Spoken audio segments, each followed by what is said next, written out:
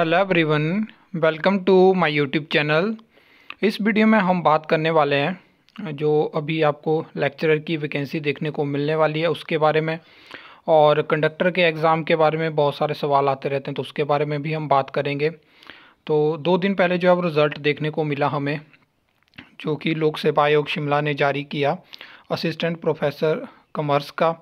और इसके साथ ही जो कॉलेज कैडरे की असिस्टेंट प्रोफेसर की बहुत सारी एडवर्टाइजमेंट हमें देखने को मिली थी। तो इसके साथ ही पूरी जो असिस्टेंट प्रोफेसर अलग अलग सब्जेक्ट की सारी भर्तियाँ कंप्लीट होती हैं। पाँच ये टोटल वैकेंसी एडवर्टाइज हुई थी और इनकी जो टोटली प्रोसेस है वो कंप्लीट हो चुकी है।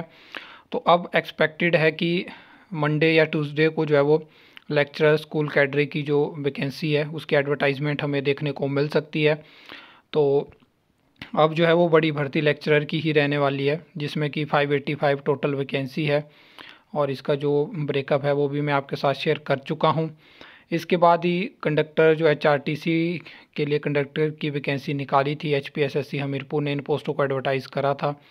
फिर इसके बाद शिमला मतलब लोक सेवा आयोग शिमला की तरफ़ से आपको अलग अलग नोटिफिकेशन भी देखने को मिली। तो अभी न्यूज़ निकल के आ रही है कि मतलब लोक सेवा आयोग शिमला ने तो सेंटर भी बना दिए हों कि कहाँ पर कहाँ पर एग्ज़ाम करवाने हैं। लेकिन जब तक सरकार की तरफ़ से उनको अप्रूवल नहीं मिलेगा, सरकार उनको नहीं बोलेगी कि आप एग्ज़ाम कंडक्ट करवाइए, तब तक वो एग्ज़ाम कंडक्ट नहीं करवाएँगे। सरकार ने क्यों होल्ड पे किया हुआ है कंडक्टर भर्ती को, वो अभी तक किसी को नहीं पता है। और एक बात ये भी है कि जो ड्राइवर की भर्ती होनी थी एच में, उसको भी बीच में रोक दिया गया। तो क्या रीज़न है, किस वजह से ये चीज़ें हुई, वो किसी को पता नहीं है।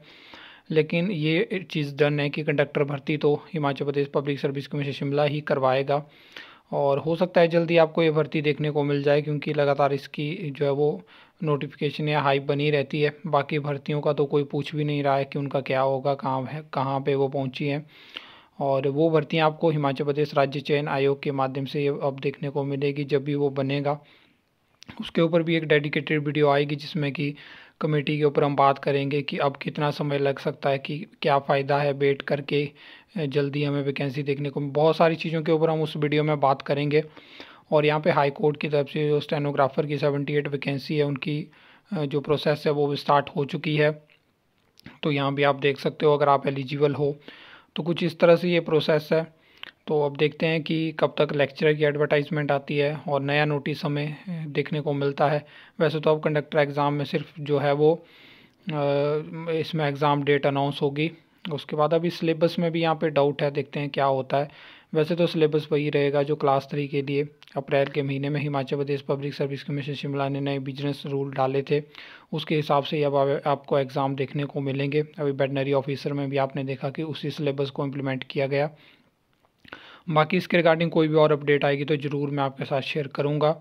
आई होप आपको ये वीडियो अच्छी लगी होगी इन्फॉर्मेटिव लगी होगी। तो वीडियो को लाइक कमेंट शेयर कर सकते हो। चैनल को सब्सक्राइब कर सकते हो फॉर द न्यू अपडेट्स के लिए।